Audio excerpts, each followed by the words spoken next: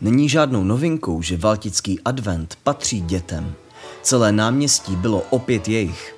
Letos jsme se ale před rozzářením vánočního stromu mohli těšit velkým novinkám. První je třeba ta, že program Valtického adventu i jarmark začínali už ve 13 hodin, abychom vánoční atmosféry mohli užít ještě více. Je to naše tradiční akce, první neděli, nebo tentokrát ale se to koná poprvé v sobotu, eh, první neděli adventní a koná se tady na náměstí. Víceméně se o zábavu postarají valtické spolky, valtické děti. Eh, v letošním roce je trošku novinkou to, že tady máme dílnu na turistickém informačním centru, kde vlastně děti tvoří svoje výtvory, díla, obrázky, takže je to taková premiéra v letošním roce. Jinak to má standardní průběh, který je završen rozsvícením vánočního stromku. Ale než stromek necháme rozzářit Valtické náměstí Svobody, pojďme se podívat za dětmi do vánoční dílny. Co se tady všechno vyrábí?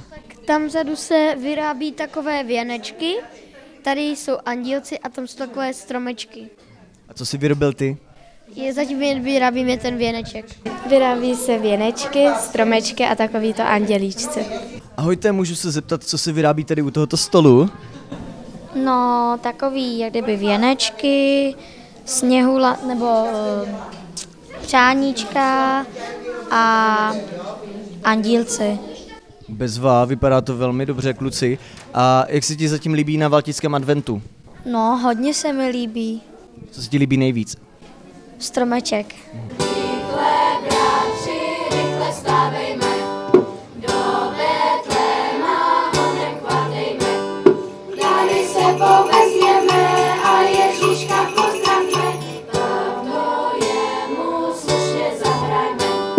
Je tady spoustu dětí, je to úžasné. Opravdu máme tady hodně dětí, takže Valtický advent splňuje své očekávání, to znamená, že je o dětech a s dětma.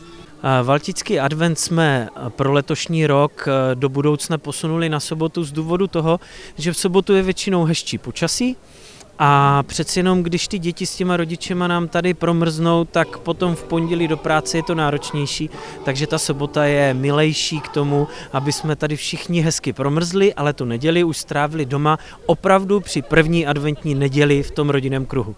V letošním roce jsme připravili pro děti, které tady máme, ať už vystupující nebo jenom, že se jdou s rodičema podívat, připravili jsme dílničku.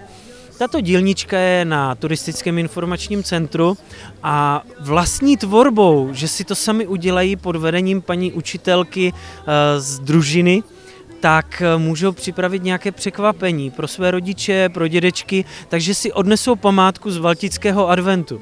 Jako každý rok tady máme velmi živý valtický betlém, protože máme tady oslíka, máme tady ovečku, máme tady kozy, to, co prostě k tomu betlému jako takovému patří. Máme to v zadní části náměstí, aby jsme ty zvířátka nerušili, ale aby ty děti si mohly všechny ty zvířátka pohladit, povykládat s něma a říct, mami, tati, podívej, je tady oslík, ovečka. Valtický betlém je opravdu živý. Oslík i ovečka dělali příjemnou společnost dětem i dospělým. Vůně svařáku se nesla snad po celých Valticích a u stánků jsme mohli narazit na spoustu dalších dobrot. Od ovaru z kotle přes tlačenku až po francouzské palačinky. Z Valtic si často lidé vozí na památku takzvané figurky z kukuřičného šůstí, kterým byl taky věnován jeden stánek. Teď před Vánoci má paní Juřicová spoustu práce. Mě vždycky lidi omráčí, když mi řeknou, co už všechno mají a je to docela před těma Vánocema, když každý přijde a řekne, to mám, to mám, to mám, co máte nového, tak se musím pořád snažit dělat něco nového.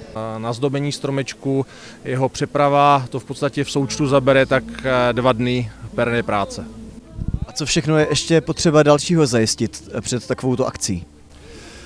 Eh, co se týká samotného stromku, tak pochopitelně nazdobit ten stromek, což není vůbec, eh, vůbec jednoduché. Já své kolegy docela obdivuju, že se nebojí v té výšce z plošiny ten stromek, eh, ten stromek zdobit.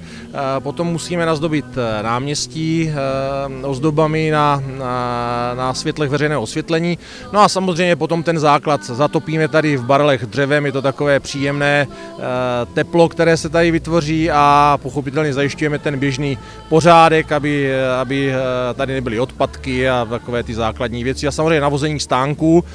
Během krásného odpoledne spadlo spíše symbolicky pár sněhových vloček a hned po setmění, když odbyla 17. hodina, pan starosta zavelel a valtický vánoční strom rozzářilo tisíce světel.